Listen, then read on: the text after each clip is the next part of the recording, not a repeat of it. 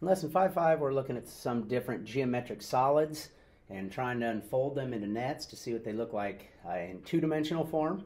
Uh, so here we have a, a, rectangular prism and our job is to unfold it uh, into a net, see what it looks like flat, and then with that, again, that's basically the whole goal here. We're not going to use it to find the surface area yet. Uh, we're just going to make sure we can draw this net and identify what a net looks like uh, for a rectangular prism. All right, so when I'm drawing this, and I'll pause this here in a second so you guys can draw it in, uh, I know when I have a, um, a, rectangular solid here, I've got six faces. Uh, we know we have a top and a bottom. You can't see that bottom, but we know it's there. You have a front and a back, and then you have the two sides. And you can't see all of them depending on one what angle uh, we've got that block um, sitting at. So you got to really use these dimensions and then uh, use those to try and draw accurately what this uh, net would look like. So when I drew this, now I started, some of you guys, when you draw them, it gets kind of tough, uh, depending on where you start, but I'm going to start all the way over on the left. I mean, there's other ways I could start all the way on the right or all the way to the top. Uh, there might not be enough area to draw it all in if you do it a certain way.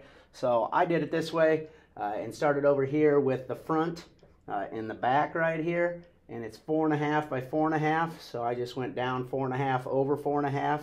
And again, made that uh, square first. And then I know when I've got the main part of the body here, this would be actually uh, the very bottom that you can't see because we're going to fold this thing up and this would be the top. Okay, so I know this is the bottom. I'm going to go ahead and fill that in. This is the top because I'm going to flip it up and it would flip up and over to the top. Okay, and this would kind of be the, the front and the back here. So I could call this the front and the back. Uh, and then these would be the sides in here. Again, you can label those if you'd like to. Uh, you don't have to, uh, but I just went through and I can see after I drew this, when I've got this bottom here, you would unfold one of the sides and unfold the other side because those would come up, okay, and make these big long sides here. And we know the sides are nine and a half uh, by four and a half because if this is four and a half, this is four and a half. So the rectangle, uh, rectangle I made in here is nine and a half by four and a half, so it matches up with this four and a half by four and a half. Uh, you could put the top on any side. I could put the top up here because you're folding it up and folding it over the top. Uh, we just would have run out of room. All right, so that's why I put it on this side since I started on the left side.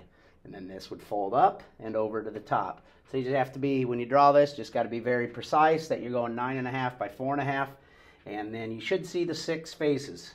Again, the top and the bottom and the front and the back and the two sides. And you'll see all six of those. So you should have six faces when you're done. Uh, so again, I'll go ahead and pause this now to give you guys plenty of time to draw it.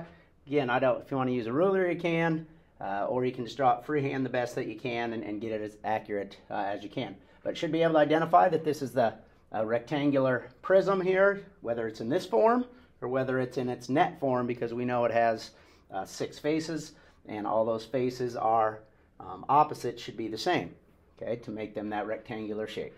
So make sure you get this uh, drawn in, please.